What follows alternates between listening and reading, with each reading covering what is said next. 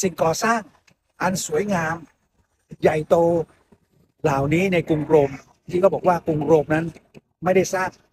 เสร็จภายในวันเดียวนั้น อาคารต่างๆเหล่านี้นะครับ เรามักจะได้ยินว่าเขาสร้างให้ใคร ใครเป็นคนสร้าง ใครเป็นคนออกแบบ ใครเป็นคนให้เงินอย่างนี้เป็นต้น แต่บุคคลที่ไม่เคยได้รับการขนานนามนะครับ ก็คือ แรงงานผู้สร้างสรรค์สิ่งต่างๆเหล่านี้ครับ แรงงานต่างหากที่ทำให้เกิดสิ่งเหล่านี้ขึ้นมา แต่ว่าบุคคลเหล่านั้นกลับกลายเป็นบุคคลนิรนามครับ เนื่องจากไม่มีเงิน ไม่มีอำนาจ ไม่มีชื่อเสียง แต่ถ้าเกิดว่าไม่มีบุคคลเหล่านี้ในการก่อสร้างสิ่งอลังการเหล่านี้ มีเงินมีอำนาจก็ไม่สามารถที่จะบันดาลให้เกิดขึ้นได้ครับ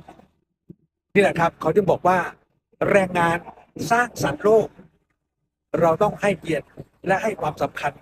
ตระหนักถึงคุณค่าของผู้ใช้แรงงานนะครับ